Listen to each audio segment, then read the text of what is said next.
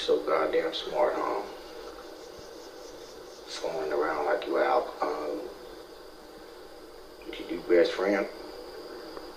Gotta take a good look, Jack.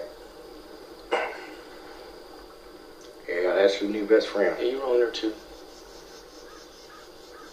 Especially Deputy Rakes when I hired him to do that to you. Ah, who told you that? Floyd Banner himself. Oh, Floyd Banner himself. Well, that must be gospel.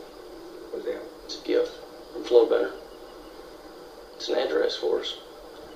Before you can find them bastards, cut your dough. I say we get them tonight.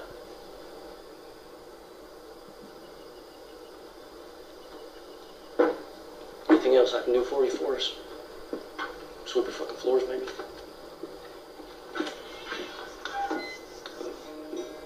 I got somewhere I gotta be.